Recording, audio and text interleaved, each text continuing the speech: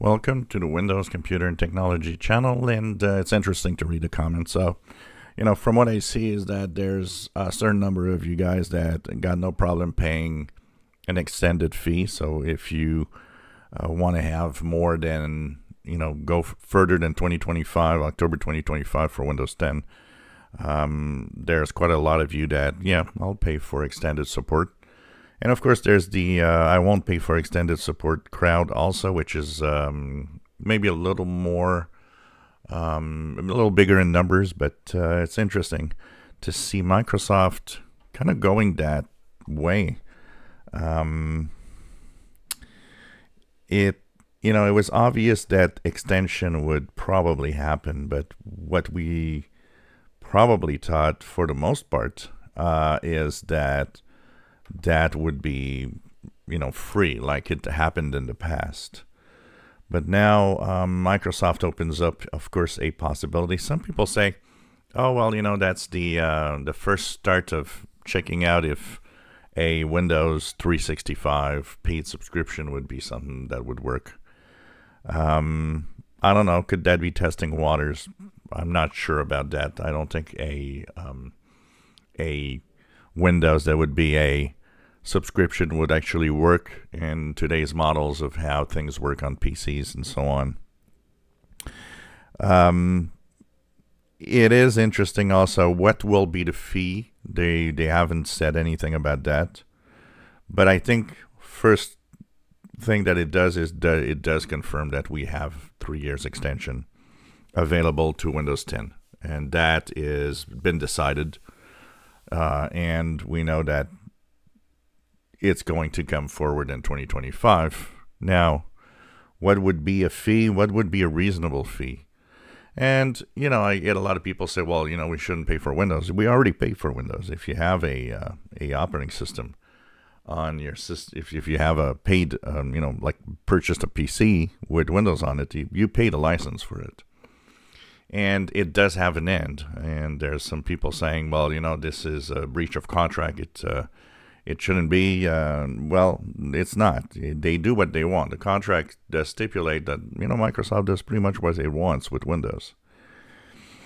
So it's going to be interesting uh, to see what would be you know a fee. Some were saying, well, you know, if there's 500 million people still using Windows 10 back in when when we get to 2025 and say they charge $20 per year, it's still quite a lot of money.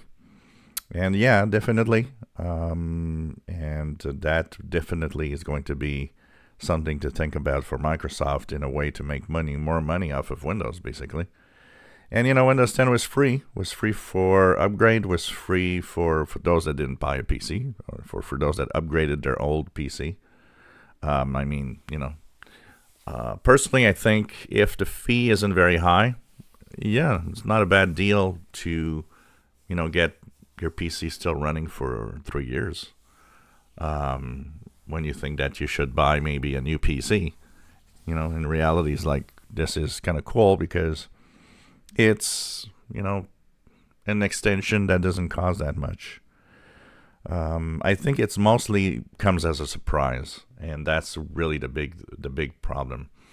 The funny thing is, and and they're not totally wrong. Yes, of course, people that will be stuck continuing paying for extended support or unsupported hardware people, that's for sure. But at the same time, um, presently, the latest statistics show that almost half of the PCs that are running Windows are capable of moving to Windows 11. It's close, it's like 46%. So, uh, one of the things I think that will also do is well, you get Windows 11 that's free, so a lot of people are going to just move on to Windows 11. It's going to force people to Windows 11 or maybe 12, even depending on what the minimum requirement is. Uh, will I pay for extended support to Windows 10? Um, probably because of what I do. Um, not because I want to necessarily, because I would move on probably to something else. And this PC can't go to Windows 11, but there's the little trick for unsupported that could be used that I could move it to Windows 11 if I wanted to. Um, I might choose to move it to something else also. I might choose to move this machine to a a Linux distro or something. But for the most part, um, I will probably be paying the extended support because depending on the number of people that are still on Windows 10. But I think it comes as a surprise. So there's the good news and the bad news, I guess. Um, the good news, we know that now three uh, three years of extended support will exist. Uh, the bad news is it's going to be a paid support, but how much? And that is the big question. How much will it cost? You know, uh, is it going to be a yearly fee? Every year you just pay your little fee and get the extended support. Of course, there'll be probably some out there that will find tricks to kind of cheat. So, anyways, we'll see how all of this happens, but uh, it's interesting and um, it's fun to see the reactions um, of everyone. If you enjoy my videos, please subscribe, give us thumbs up. Thank you for watching.